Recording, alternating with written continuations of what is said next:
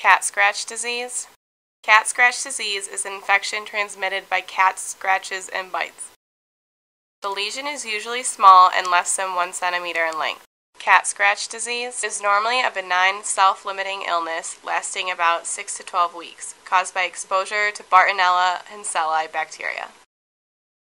Scratches or bites from an infected cat can cause symptoms in people including swollen or draining lymph nodes, fever, fatigue, and headache. Swollen, tender, or hard lymph nodes can be confused with a soft tissue tumor. These areas of lymph node concentration include cervical nodes, axillary nodes, cubital nodes, and inguinal nodes. The timeline of events leading to cat scratch disease first begins with a cat bite or scratch. Within one week, there is a development of a skin lesion in about 50% of patients.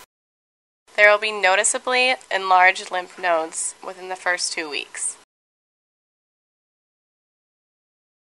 Swollen lymph nodes with no other etiology and a scratch or bite from being in contact with a cat could suggest the presence of cat scratch disease. Symptoms are self limiting and can vary from mild to severe, lasting for several weeks.